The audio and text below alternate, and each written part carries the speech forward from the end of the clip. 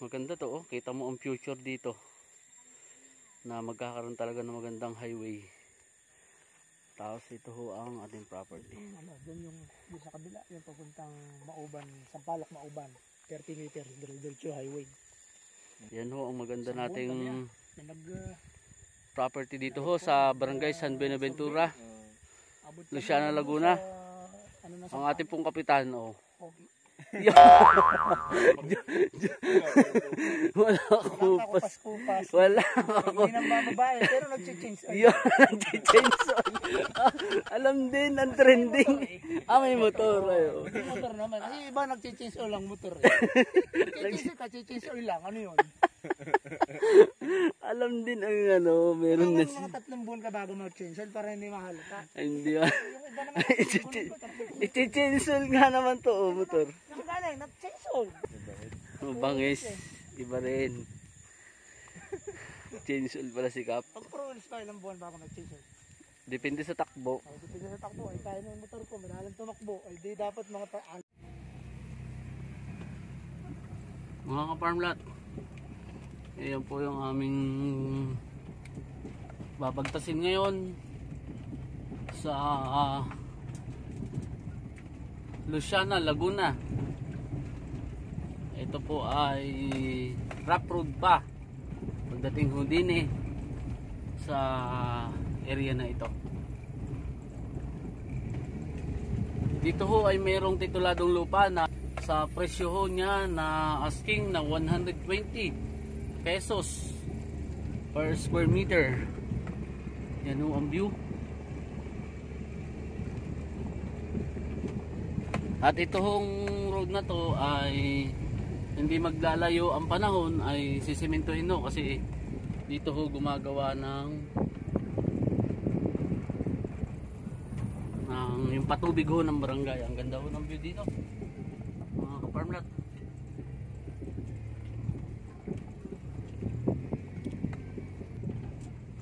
Mga ka-farmlot. Ang ito ho ay magandang pag-invisan itong lugar na ito dahil kita ho natin na for developing pa lang ang kalsada. So sa halagang 120 per square meter siguro naman ho ay pag nakalsada ho ito sigurado hong mag ah, aangat ang presyo nito kapag humaulan ako ho ay hindi ho natin kaya ditong ah, bumagtas siguro nga ho ito ay medyo maputik. Talaga ho pagka maulan. Dahil nagkataon ho na mainit ho ngayon. At ito ho ay ang kausap ho natin din eh, ay yung kapitan din ho mismo ng ating barangay. Siya ho ang pinagbigyan ng may-ari ng titulo para i-alok ho sa atin yung kanilang lupa. Buti na lang ho nagkataong mainit ho ngayon at, at napagbigyan ho tayo meron ho tayong tripping. Ito ho ay Luciana Laguna mga kaparmlat. Kita nyo ho ay ito po ay binuldos. At ah, nakikita ko ho dito talaga na kakalsadahin ho ito. Kahit po talaga siguro kotse ay kaya nitong makarating kailangan ho ay mainit ang pagbisita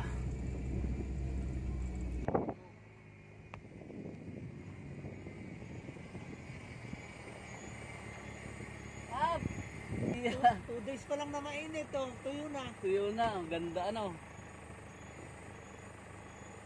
Ang ganda niya sa dulo, ang kuya dulo. oo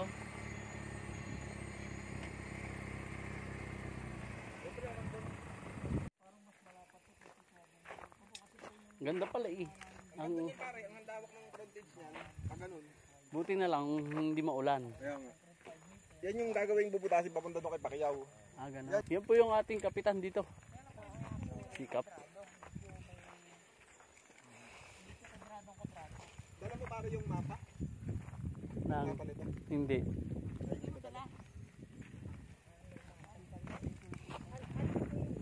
Bali, ito na po. Itong tinatapakan ko na po dito. Yan, papunta doon. Hanggang doon pa po yan. 4.2. 4.2. Oh. Ah, 4. Titulado. Ano po yan? Palayan po pag ganon. Dati pong may palayan yan sa looban. May mga ano po yan, pitak-pitak na parang Ibig sabihin, pantayanin lang to, ano? Opo. Parang pag ganon lang po siya. Hindi naman masyado, parang ganito lang din, pero hindi masyadong. Ito po, yung Yun po yung kalsada. na to, bubutasin din yan pag ganon. Ano po, 60. Ganda ng overlooking dito, Kap. Ay, mura pa nung bilhin ng inchik yan. Parang, parang 40 Ito ho ang ating property. Mga ka-farm lot ay 4.2 hectares na titulado ho. Asking price 120 per square meter. Ngayon ho, nakikita nyo ho na meron tayong road pero rough road ho yan.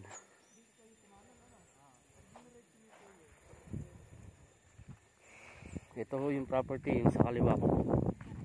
May mga tanim ho na puro kakahuyan. Malawak pala kap ang frontage. Ito na. Ay may mga niyog din pala. Tapos ang daming- ganun. Ang daming mga punong kahoy ano. Ganon yan pare pag ganon. Pero hindi siya yung sobrang tarik. Hmm, Ito, ang lalaki ng punong kahoy oh.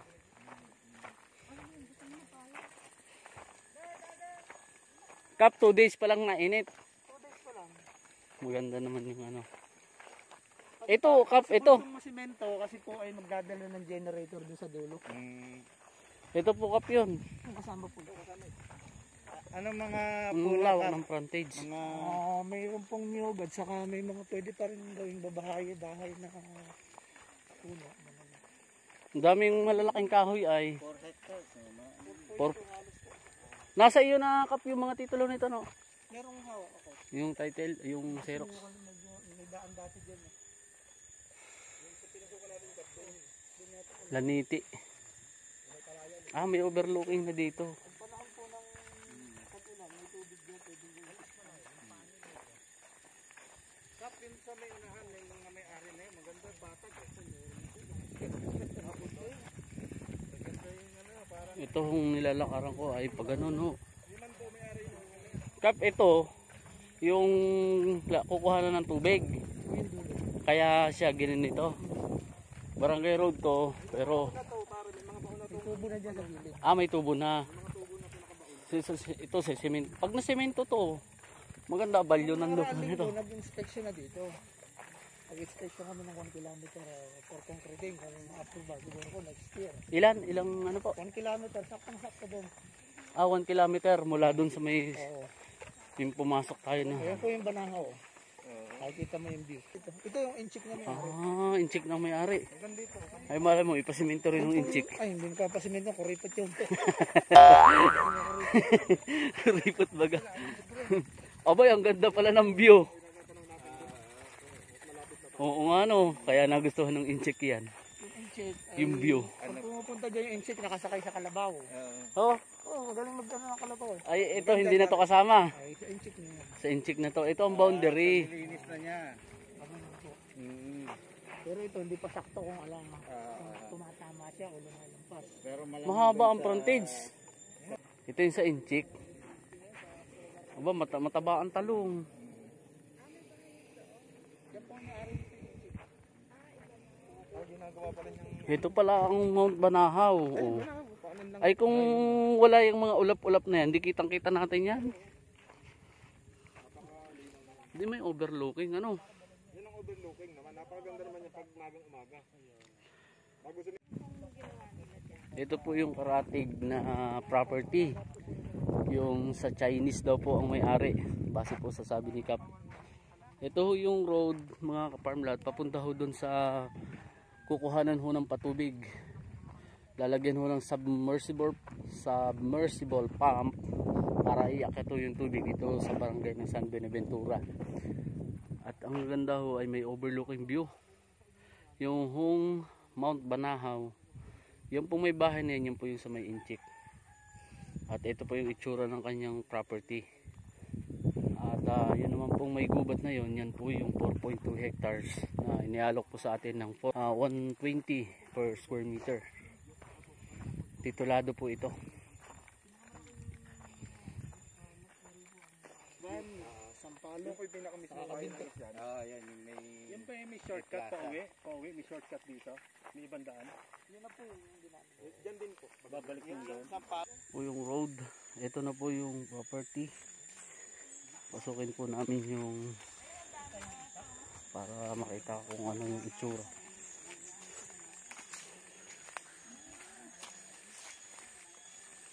Hmm, linisin lang.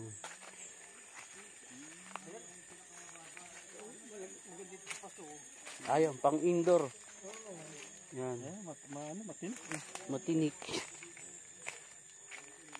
Ah, may pakyaw dito. Opo, may lupa po dyan sa Pacquiao dyan sa dulo. Oo. Mas malayo po yung kanya.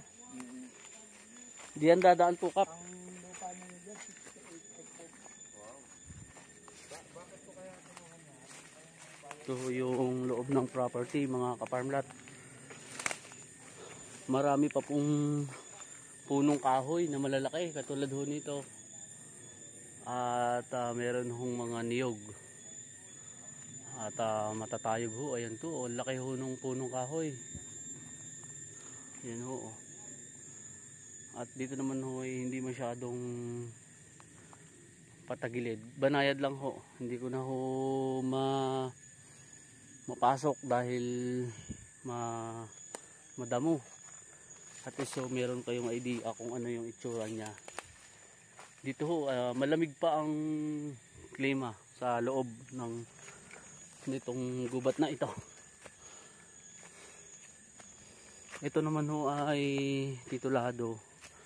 Ang makikita nyo lang ho yung yung road natin ay medyo develop pa. Kailangan i-develop pa. Kaya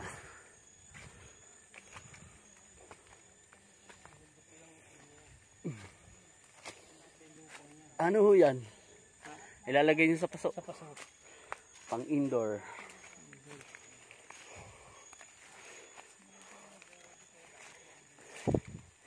Ang maganda ho ay nakadikit yung property sa road.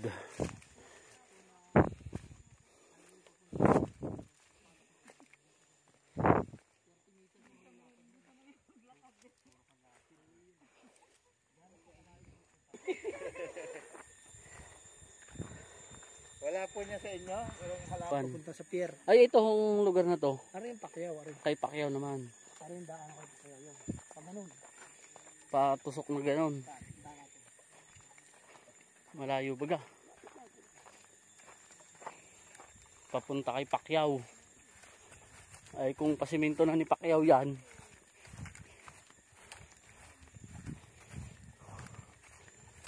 Maganda nga pala ito. Hati sa barangay. Hati yung dalawa na kaway. Oo. Sa. Papunta kay Pacquiao. Ah, ito. Ay di magigilidan yung ano, yung yung property. Property, mahati. Mahahati. Kabila. Ay ba't ito sakupan niya? Ako pa yan.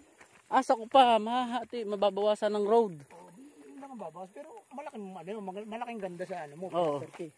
Ah, ibig sabihin itong tuktok na to kasama pa to sa Walang- 4.2. walang Yung parang na ito, itong mga gubat. Ayan, gubat. Yung mga gubat. Ito, kasama pa to. Ito eh. nga ano, road. Kasama pa to ah. Tapos ito yung gagawing kalsada ni Pacquiao Padiretso doon, na to kay Pacquiao. Ito, papunta kay Pacquiao. Pero magiging pabor dito sa ano, dito sa lupa na to. Kung magtayo ka dito balang araw ng gasoline station. Oo nga no. Kasi junction to eh. Ga- gas, Nakaway eh. gasoline station nasa pinaka. Future, oh. Hindi natin masasabi kung talagang dire-diretsong ano yan. Mabi. Pag si Pacquiao na ang nag-develop, ano? Mga kaparmlet, ito po yung palabas na kami ng ah, road na ito po ay rough road pa, hindi pa ho simentado. Pero kaya ho ang presyo ng property ay mababa pa sa ngayon. Pero dahil po lalagyan ng ito ng yung patubig ng barangay possible na sementohin na po yun. Kaya ho pag na semento asahan ho natin mag 3 times o ilang doble ho ang angat ng presyo ng lupa. Sinukat ko ho mula doon sa property hanggang palabas ho dito sa cemented road na barangay road ay wala pa ho mga 1 kilometer ho. Eksakto ho ng isang kilometro siguro. Hindi na ho lalampas. Isang kilometro ho na ganito ang road. Pagdating po dyan sa may itong bakho na to ay sementado na ho. Ito na ho yung palabas ng property. Ito ho sementado na to. Two lanes mga kaparm dati ito na ho. Yan ho yung mga tubo na ibinaon dyan sa para ho mag-akyat ng tubig dito ho sa barangay San Benaventura ito po yung barangay road mga kaparmlat titulado po yung ating lupang nakita dito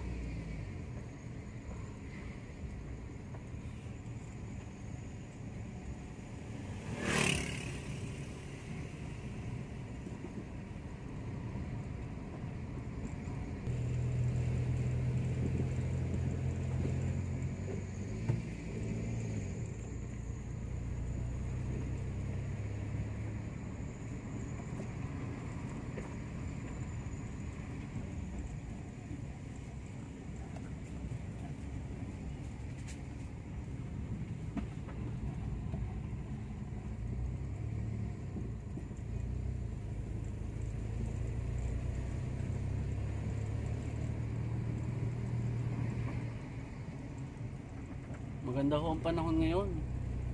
Kaya maganda ho yung aming pag-tripping. Sila sir na galing pa ng Manila. Sir Ariel thank you sa iyong pagbisita. Ito po yung palabas ng palabas po yan ng National Highway. Ito ho yung papasok pa rin po ng San Buenaventura yung barangay San Buenaventura